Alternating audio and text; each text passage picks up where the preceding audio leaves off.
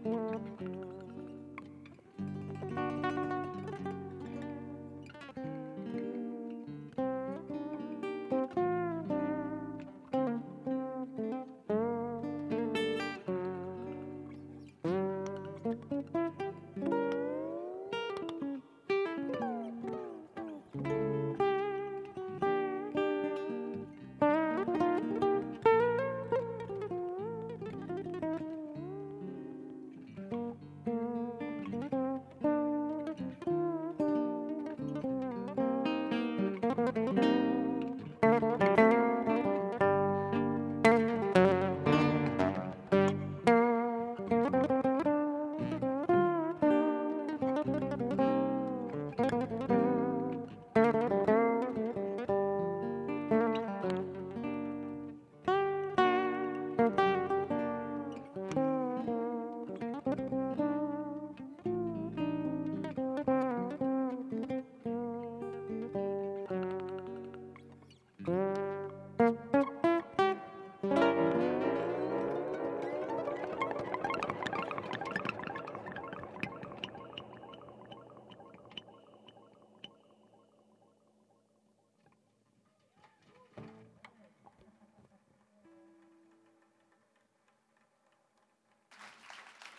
Maestro Cenk, Maestro Cenk. Mr. Antonio Forcione, one of my greatest inspirations.